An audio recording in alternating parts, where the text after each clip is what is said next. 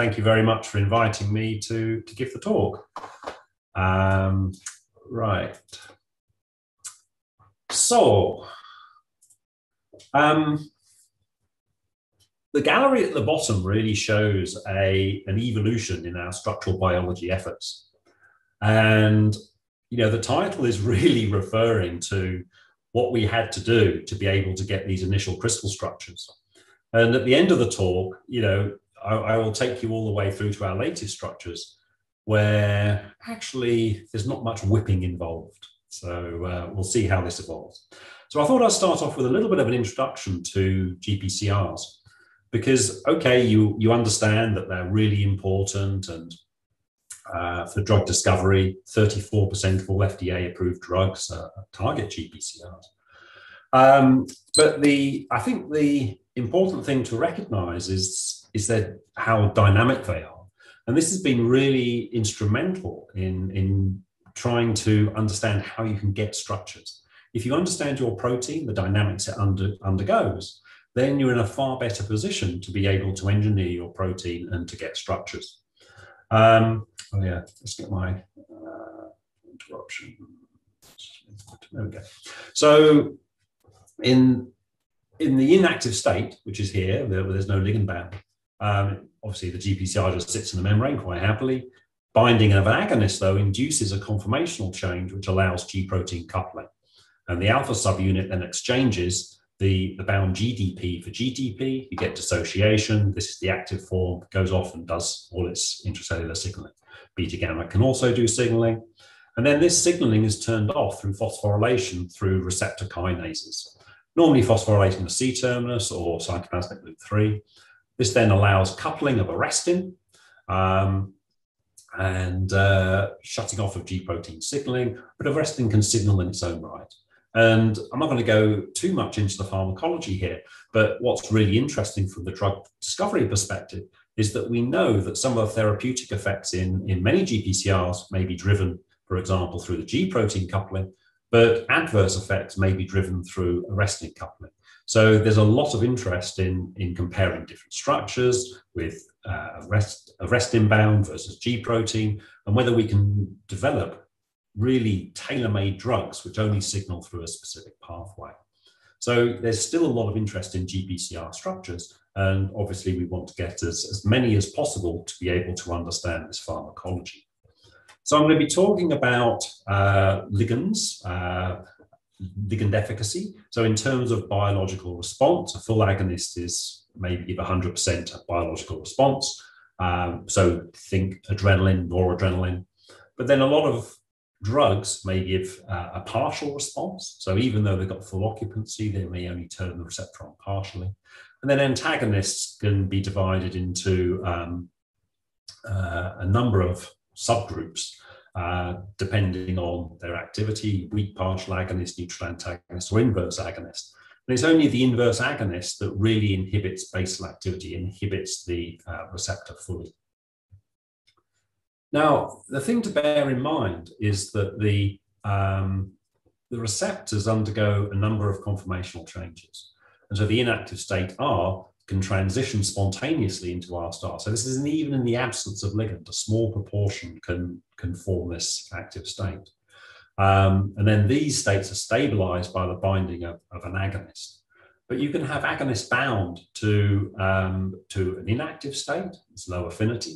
You have a high affinity state here. And of course, when the G protein binds, you get even higher affinity. So the key part here is that this equilibrium is going on the whole time, even in detergent. So you have to be able to shut this down if you want to get structures. And this has been part and parcel of learning how to deal with, uh, with GPCRs. So let's just, sorry, oh, I can't stop it. Oh well. Um, so this is basically a, a, a movie um, of a GPCR going from the inactive state to the active state. Um, and what we have is just three crystal structures of the A2A receptor going from the inactive, active intermediate to active. And what you see is this cleft is opened and allows the coupling of the, um, the C terminal alpha helix of the G protein actually in here.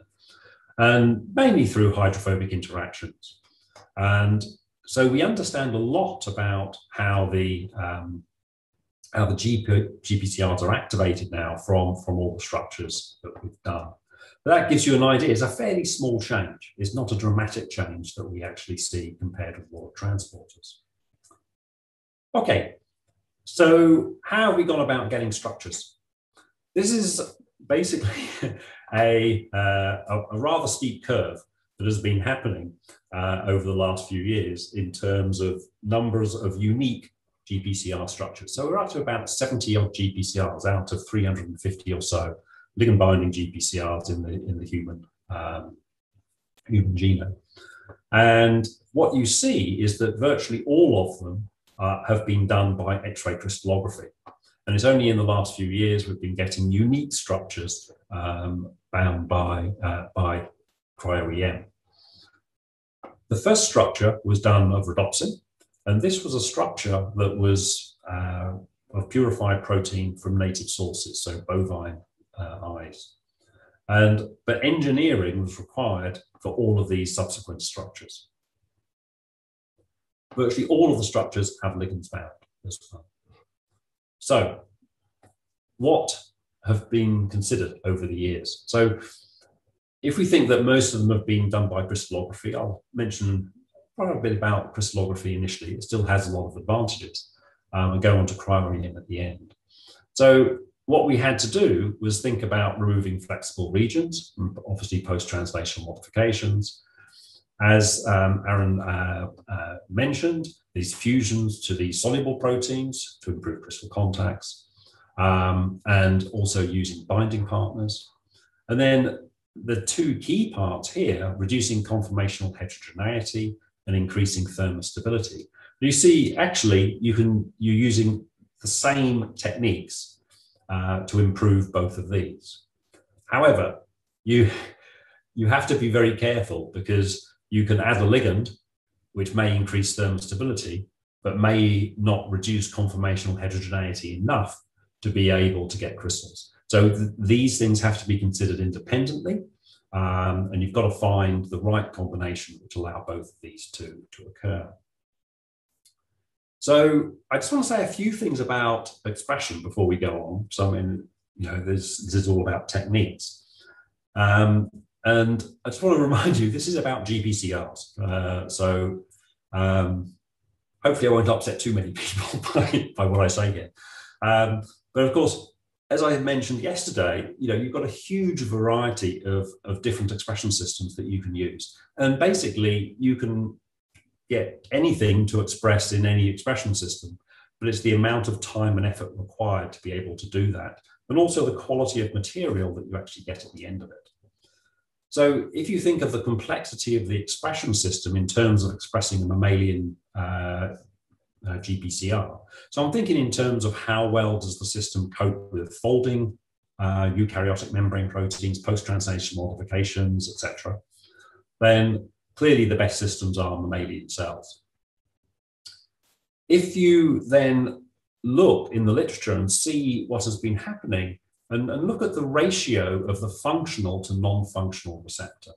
So to me, this is really important if I'm going to start a new project, I really want to make sure that the protein I've expressed has the optimal possibility of being folded correctly with not too much misfolded material. And I'll just mention that in, the, in subsequent slide. Um, and in our experience, it's really the, uh, mammalian cell systems which have, have been the best. Um, but even transient transfection in mammalian uh, systems can cause a lot of problems. And then the, um, let's get rid of this. Sorry, going to get that away. I can't see what the slide is. Um, then you've got uh, the potential uh, uh, um, functional expression levels of the receptor. And what is surprising is that actually a lot of the mammalian systems can express things very, very well. Uh, and same with baculo. So it's a trade-off very often between these two, these two things that we think about. Yeah, that's interesting.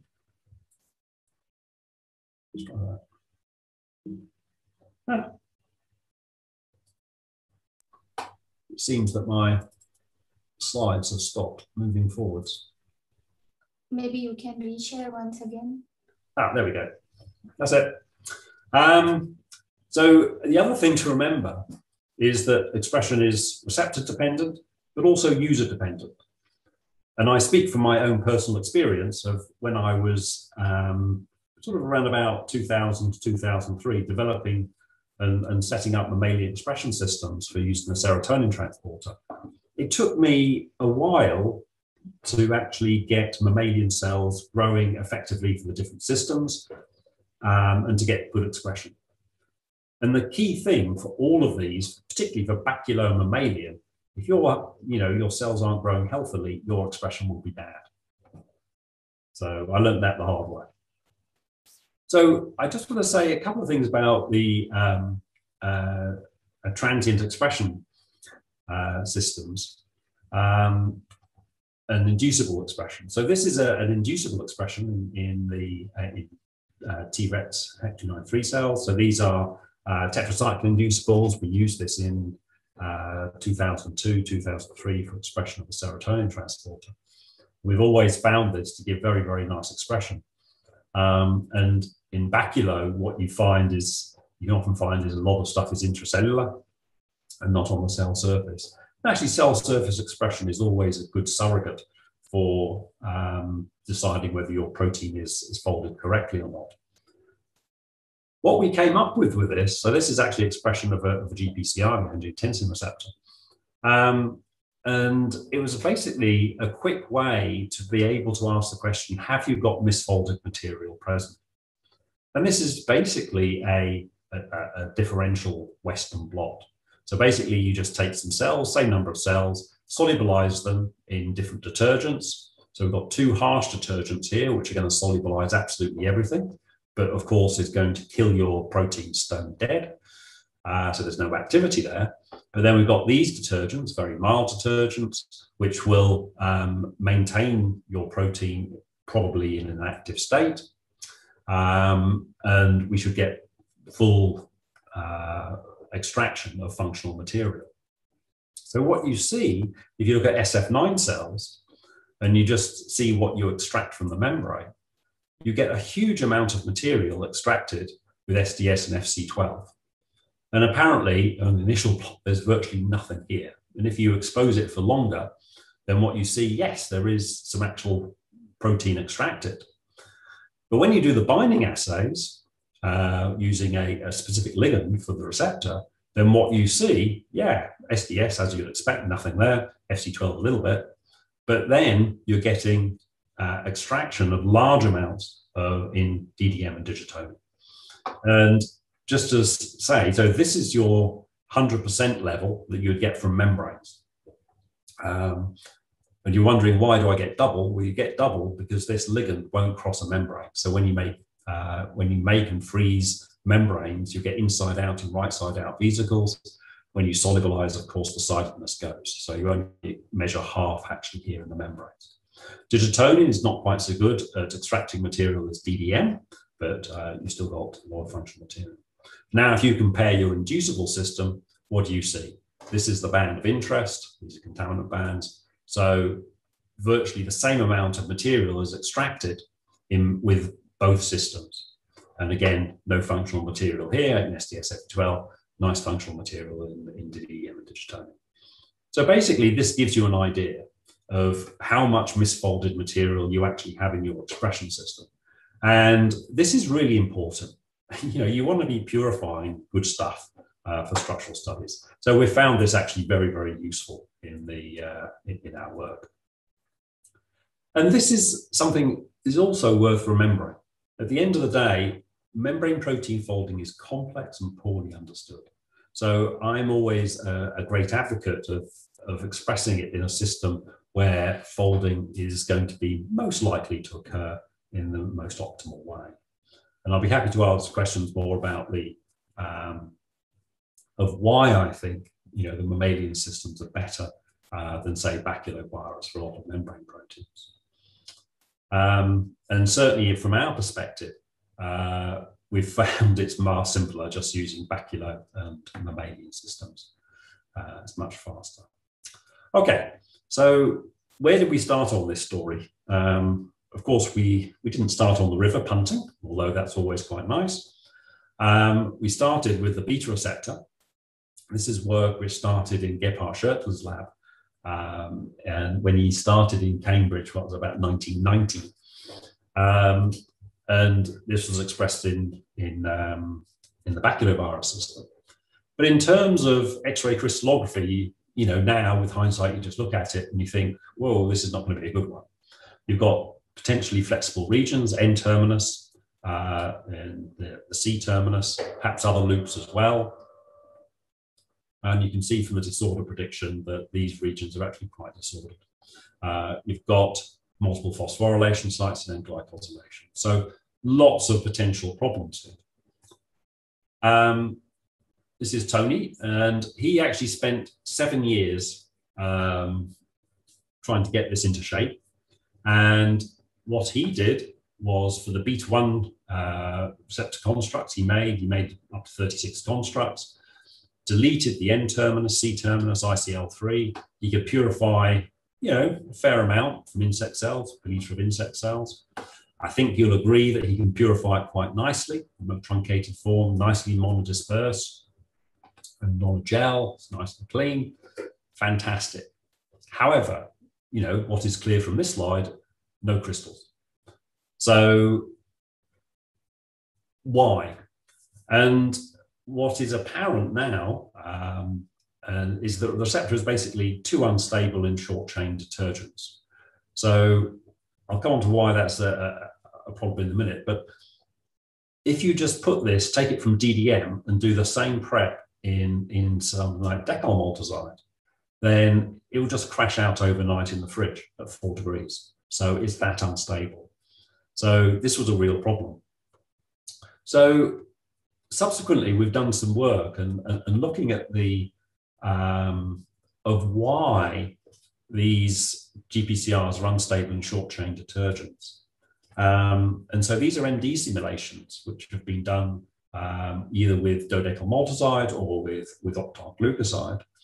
And as you watch the, the dodecyl maltoside moving about, you know, it's it's jiggling about a little bit, but it's it's fairly static. Um, if you compare that now to the OG, you know, the OG is is on speed. I mean, it is just going around all over the place. And if you look at some of these um, individual uh, molecules of, of, OG, they are really rotating in in, in the plane of the, the hydrophobic where the membrane would be. They're jiggling about. And now, at the end of the simulations, they're starting to intercalate between the helices. So this is like the, the first steps of denaturation. Um, so it's because you've got these enhanced movements of the, of the receptor in short chain detergents is probably why they're so denaturing.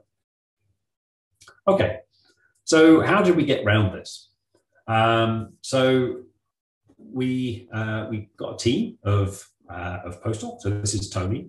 Uh, we've got Maria, and Francesca, and they worked on developing this conformational thermostabilization. So the idea was was to make the receptors more stable in short chain detergents. And this was a very straightforward, simple process. Um, so we did alanine scanning throughout the receptor. So basically, you change every amino acid um, into alanine. If it's already an alanine, you change it into a leucine. You then express each of those receptors. So you can either express them in um, mammalian cells or actually originally we decided to use E. coli. We thought it might be easier, but it actually isn't. It's just as fast doing it in mammalian cells. And then after expression, you then do the assay. So this is the heart of the whole process, the thermostability assay. And so what you're doing for each of your mutants is then saying, asking how thermostable is it in relation to your wild type receptor.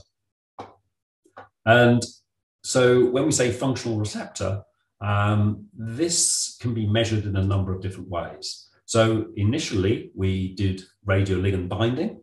So we had a, a radio-labeled antagonist or an agonist, um, and you just measure how much is bound. And you heat the sample to different temperatures um, and quench, and then just measure how much is bound draw a curve, and that's your apparent TM. So very, very simple, albeit somewhat tedious. Um, so at Heptares now, they have a whole suite of different methods for doing this. Um, so, so like aggregation assays, fluorescent assays, because in many cases we don't have a radiolabeled uh, ligand uh, or the properties of the ligand aren't so good for these assays. Um, but what you end up with is basically round about, I don't know, uh, six to nine percent of the um, single amino acid point mutations being thermostabilizing. And then what you have to do is to be able to, um, to put them together. We've worked out a number of ways of efficiently being able to put them together. And then you end up, in our case, around about four to six mutations being put together and gradually increases thermostability. So all of this, um, we've summarized all of our experience in this, in this uh, publication here if people are interested in the details. So this is the, the first example that we did, the beta-1 receptor. Um, this is when we got into the stage of having single point mutations and we're putting them together in a whole number of different combinations. Um, so these are just six mutations put together in different ways. And then what you see, it um, when you look at the TM, so this is the, the wild type, all of these are all much more firm stable, but there's one which is absolutely uh, um, amazing compared to that. So it's a, a 21 degree improvement in thermostability. And what does this mean? Well, the original um, wild type receptor, which is shown here, uh, you would only measure thermostability curves in dodecyl maltoside um, and in, in decyl. Whereas the uh, thermostable receptor, M23, not only could you measure it in, in DDM and DM, uh, which are these curves, so you can see that they've shifted significantly to the right, but now you can actually measure thermostability in octyl glucoside and non-al glucoside. And of course, these are short-chain detergents and ideal for crystallography. But of course, you have to think about what you've done to the receptor. And what we found was very interesting. So what we've done is biased the conformation of the receptor towards the inactive state. And uh, so these are just uh, pharmacology, pharmacologic acids binding by agonist or antagonist. So antagonist binding is, is un, unchanged, agonist binding uh, is shifted significantly to the right. So it's a key thing. You know, your structure tells you something about the antagonist bound state, but it won't about the, the agonist bound state. So yeah, be wary of that. So in the end, it crystallized in octyl 5 glucoside. And so in summary, these are all the things that we had to do to be able to get these, uh, these crystals. So we had the deletions in orange boxes. We've got the thermostabilizing mutations in red. We've got another mutation here, cis116L, to improve uh, expression. Uh, we've deleted the palmitylation site uh, at 358. Um, and yeah, so lots of engineering actually required to be able to get that. Um, but what's been nice about this is that once that engineering has been done and we understand it, what we've been able to do is to be able to get a whole multitude of different structures uh, with ligands of different efficacy. So this allows us to understand why it is that a full agonist is a full agonist and why a partial agonist is a partial agonist. Uh, we can understand why it is that when you go from the inactive state to a state coupled to a G protein, why you see this increase in affinity of the agonist, and also why that increase in affinity is weaker when you actually have a restin bound as opposed to a, a G protein. So the structures have been incredibly uh, informative. So, um, as Adrian um, mentioned, you can also do these, uh, these gene fusions, T4 lysozyme. Um, it's another way of doing it. You know, actually, this uh, methodology was developed um, by Gilles Privé and uh, for trying to get crystals of lac permease, which never worked, but it worked unbelievably well uh, when put in GPCRs. But the position of these fusion points is absolutely critical. Uh, you can change these by one amino acid, and it can be the difference between getting a crystal and not getting a crystal. So typically, people may be screening a hundred or so different constructs to get the best best crystals here. Um, and all the, the crystals have to be grown lipid cubic phase. You don't get good crystals uh, in, in detergents. Um, you also need high affinity ligands to be able to stabilize the receptor. And now what people are doing is basically combining the, the methodology here, the T4 lysozyme and the thermostabilizing mutants and having good ligands. And all of that has come together in a very robust system for structure determination of GPCRs by X-ray crystallography. And these are just some examples. So this is the same receptor.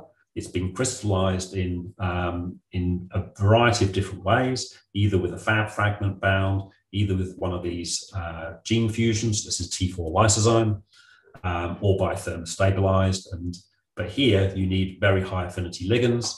The advantage of thermostabilization is that you can now uh, actually crystallize in the presence of very small ligands uh, with very low affinity. Okay, so I'm running out of time. There we go. Um, so we can do exactly the same thing for looking at GPCR G protein complexes. So in 2011, I'm sure you realized the uh, we have this amazing structure came from Brian Kabilka's lab in collaboration with Roger Sunahara. And yeah, it won a Nobel Prize. There's no question. It was a real milestone uh, in the field at the time. But nobody has been able to repeat this for any other receptor.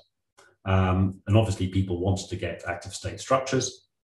And what we noticed was that when you looked at this structure, virtually all of the interactions between the G protein and, and the, uh, the receptor are driven by, um, by GS. So, sorry, by the alpha subunit um, not by the beta and gamma subunits.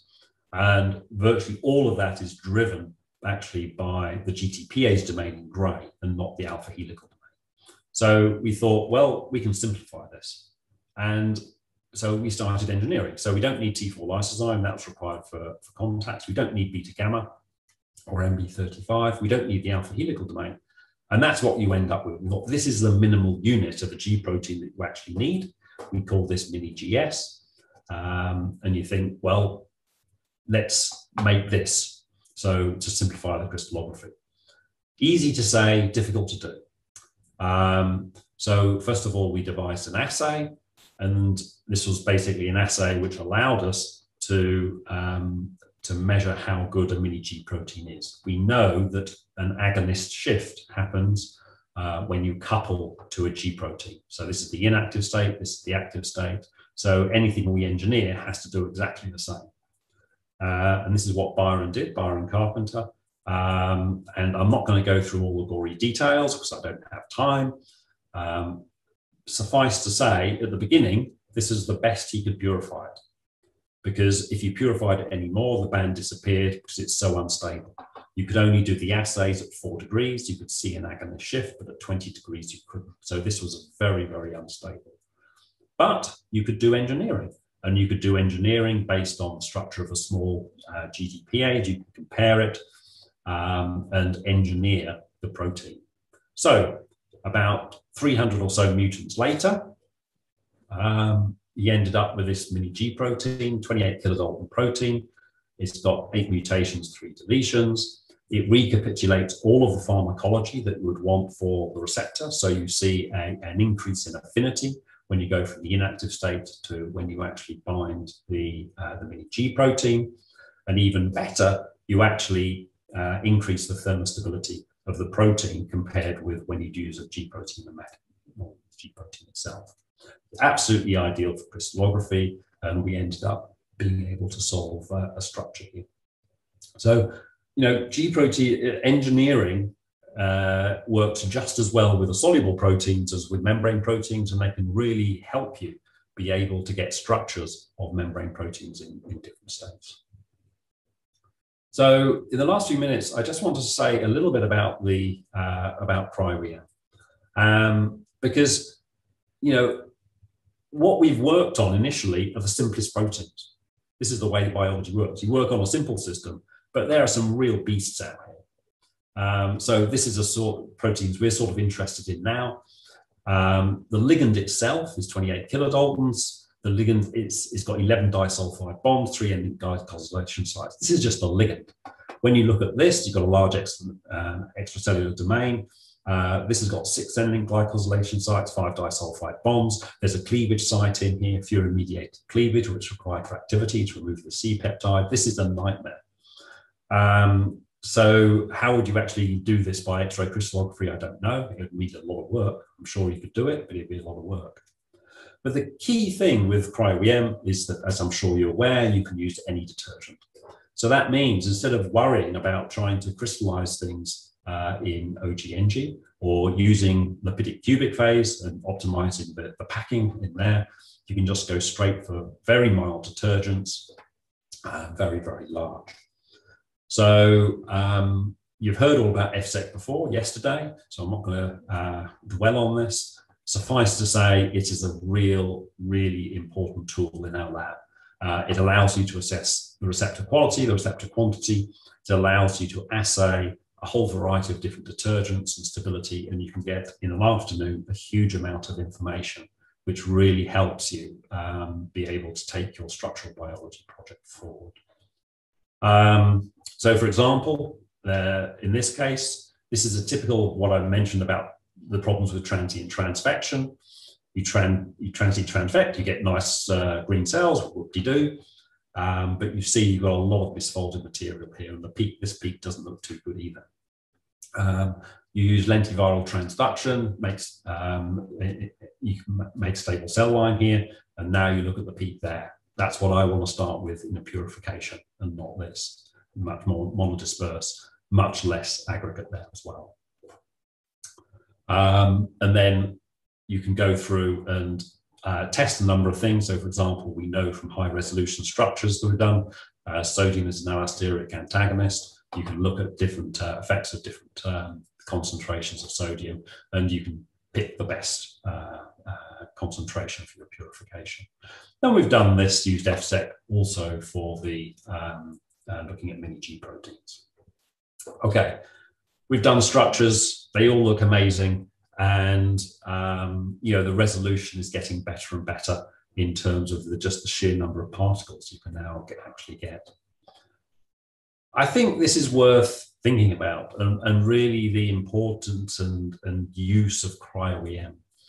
Because when you think about it, we've spent so much time engineering the G protein required for X-ray removing flexible regions, post-translational modifications, optimizing crystal contacts, thermostability, all of these things we don't have to worry about now with cryo-EM. Um, protein dynamics, yes. Uh, here we want to lock it down.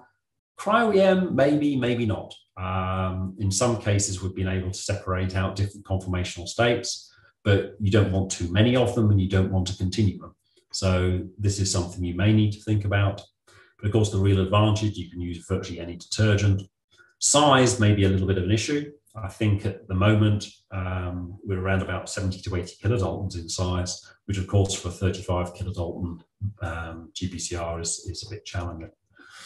Um, and yeah, there's no worries about shape or and the complex dissociation. Perhaps can come up in the discussion again because yes, this is a real problem. Um, so this is just one example of a, of a uh, one problem we have preferred orientation. This is a nightmare, and uh, we can, you can spend a lot of time. This is the equivalent to your crystal problem in uh, X-ray crystallography. Your crystal's not diffracting properly. You've got a lovely sample. You only get one view, and that's it. You you can't get a structure from that. And there's a whole variety of things you can try. Um, and in one example, which I'm going to show you, you've got to collect tilted data sets, which is a bit of a nightmare, but it was absolutely essential for be able to uh, get this particular structure. Um, and this really shows the power of cryo-EM. Could you ever get a structure like this with a nanodisc, lipid nanodisk, which is essential for, for arrestin binding? No, you're not going to be able to do that by, by X-ray crystallography. Uh, I don't have time to go through all of the purification stuff. But I just want to finish off with you know the the revolution which is occurring in cryo-EM. And make no mistake, it is a revolution. Um, it's going to get faster and faster. Um, there are loads of more uh, improvements which are coming online. Um, and small membrane proteins, people are now working on these 50 kilodalton membrane proteins or smaller, just putting on a fab or a nanobody, uh, you can increase the size and, and do the structures. This really shows the way forward, if you like, for GPCRs. So this was done by a, a PhD student. Uh, he started without having ever worked on a membrane protein. And within 14 months, he had gone from absolutely nothing, we'd never worked on this protein before, to, uh, to the density for this structure. And what is really nice is that this is a wild type receptor. So there's absolutely no deletions, no mutations, no, and all the post-translational modifications are present. We've got 125 amino acids hanging off here, which is unstructured. Um, and actually, if we tried to engineer it, we probably would have got everything wrong because this was thought to be a really unstructured N terminus and actually is absolutely essential in a domain swapped uh, uh, method of forming the dimer interface between this GPCR dimer. So there you go. Uh, it's my favorite cartoon. You have to think, you have to work hard and uh, be meticulous and never ever give up. And uh, well, as the frog found out, there's always a way uh, forward in the end. So thank you very much for listening. I'm sorry I ran over a little bit. Um, and I'd like to thank everybody who was involved in the work and, of course, all the funding over the years. Thank you very much, and I'll be happy to take a few questions. Thank you, Chris, for this interesting talk and showing us so many strategies to purify and make stable GPCRs. So we can take few questions. And the first question is, uh, like, what do you think about, like, what is the reason for better yield of functional protein with stable expression rather than with the transient expression in mammalian cells? Yeah, it's a good question. So with transient transfection, you cannot regulate how much plasmid goes into each individual cell. And there's probably a range of over 10 to the 5 difference between zero to one molecules and you know 100,000 plus molecules of plasmid. And what that means is that you can have a vast overproduction of messenger RNA. And that just totally overwhelms the secretory pathway and the folding systems for the membrane protein. And so all that happens is that if, you, if that happens, you end up with misfolded protein. Whereas if you do um, a lentiviral transduction, you can determine you have one, two, three on average um, lentiviruses going into the, into the cell. So that means that you're not overwhelming the cell with mRNA, you get proper folding. Uh, so we have another question. At what stage in purification can you test the receptors for thermal stability? Oh, yes, that's a good question. So actually, we test them for thermal stability all the way through. So you, you can actually just take cells, solubilize, because they've got GFP on, you in, in FSET, you don't need to purify them. So you can do a thermostability assay. Um, oh, sorry. Uh, yeah. Sorry. I was thinking about something else, um, not FSET. So you can use FSET, heat FSET, which um, um, David mentioned yesterday, or the um, ligand binding, or whatever you want to do but you can do it immediately on solubilization. You can actually do it in membranes if you want, and you can do it after purification. And very often, what you see is that your most stable protein, maybe in the membrane, when you solubilize it, it becomes less stable. And when you purify it, it becomes even less stable, um, presumably because you're removing lipids and the like. So, yeah, you can do it whenever you like. Okay, then one last question. What is the physiological uh, relevance of thermostability? I think it's quite similar. The physiological relevance of thermostability. Um, hmm. Well, obviously, the mutations we put in have no physiological relevance whatsoever. They're just basically a tool to be able to get the structure. But the corollary is, is that some receptors are more thermostable than others.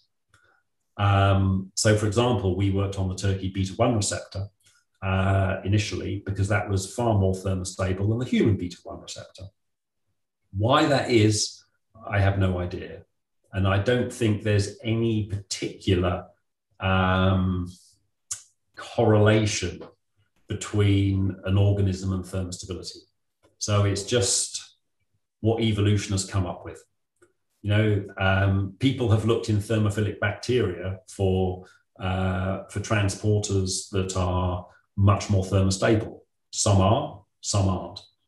So, yeah, I'm afraid there isn't anything.